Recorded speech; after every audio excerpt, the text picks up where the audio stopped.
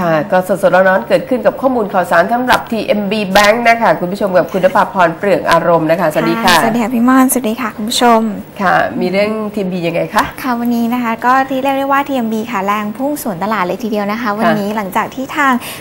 Mizuho Financial Group นะคะ ก็มีความสนใจที่จะซื้อ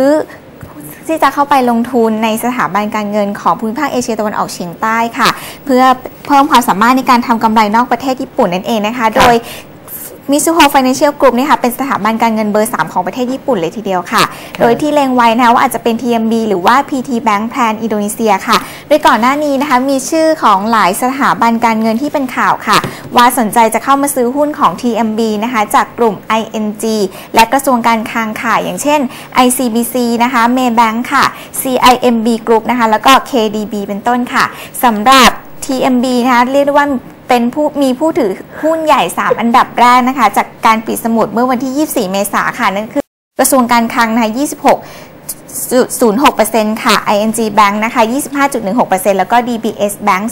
2.64%ค่ะ ทางด้านบอล DVH Vicker นะคะ ก็ได้แนะนำว่าให้ซื้อหุ้นของธนาคารทหารไทยค่ะ ในราคาเป้าหมายปี 57 นะคะ อยู่ที่ 2 บาท 90 สตางค์ค่ะ ซึ่งมองว่าหากพิจารณาถึงศักยภาพในอนาคตนะคะ ก็ยังมีมุมมองที่เป็นบวก แล้วก็เชื่อว่า ROE ของธนาคารจะปรับขึ้นได้เป็น 14%ในปี 57 อีกด้วยค่ะ ตอนนี้ราคาก็อยู่ที่ 4 อืมอืมตอนนี้ก็ราคาก็ขึ้นเขียวสองบาทสองบาท52ห้าสิบสองใช่ไหมโอ้ยเมื่อเช้า236โอ้โหใครแรได้งเลยค่ะ236โอ้โห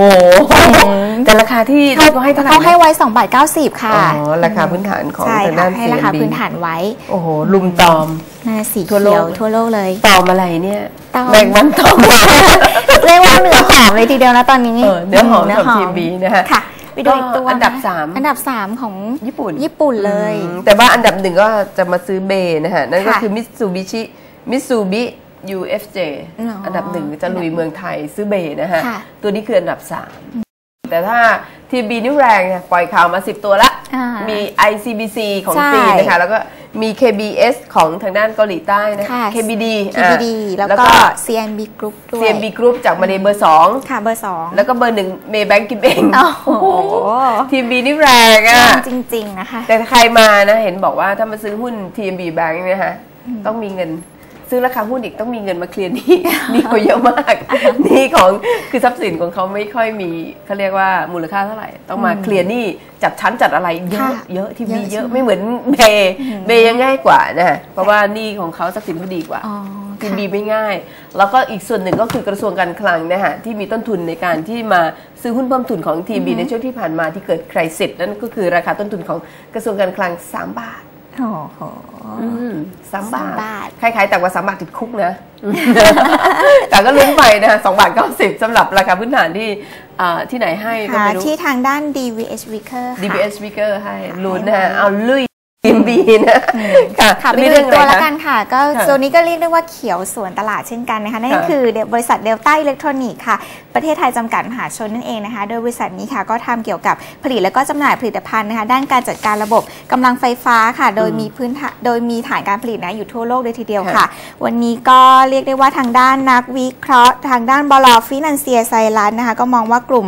อิเล็กทรอนิกส์เนี่ยมีแนวโน้มสูงว่าเศรษฐกิจในยุโรปเนี่ยจะหลุดพ้นจากภาวะถดถอยแล้วจาก GDP ใน ไตรมาส 2 ปี 2013 ค่ะ แล้วก็ประกอบกับค่าเงินบาทนะคะ มีเสถียรภาพมากขึ้นค่ะ ซึ่งถือเป็นข่าวดีกับผู้ประกอบการชิ้นส่วนอิเล็กทรอนิกส์นะคะ โดยเฉพาะที่มีลูกค้ากระจายในยุโรปค่ะ นั่นก็คือ KCE นะคะ แล้วก็ Delta ค่ะ โดยทางบลฟินันเซียไซรัสนะคะ แนะนำ KCE ค่ะ เป้าหมายอยู่ที่ 23 บาทนะคะ แล้วก็เพราะว่าเป็น PE ต่ำสุด แล้วก็กำไรสูงสุดนะคะ ส่วน Delta ให้ราคาเป้าหมายอยู่ที่ 51 บาทค่ะ แล้วก็แนะนำซื้อเมื่ออ่อนตัวนั่นเอง ค่ะหุ้นเดลต้าวันนี้ก็แรงโคตรๆเลยนะคะคุณผู้ชมเป็นหุ้นที่สวนตลาดเช่นกันนะคะวันนี้เดลต้าปิดที่ระดับราคา 45 บาท 25 สตางค์บวก 3 สลึงนะคะ